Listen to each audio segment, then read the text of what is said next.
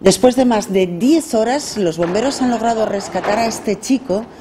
Tiene 13 años, se había quedado atrapada en un hueco muy estrecho entre dos paredes.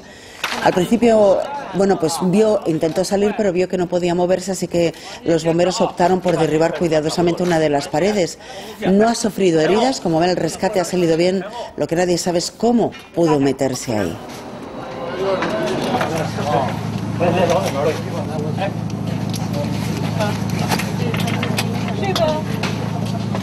下去去下去干啥去？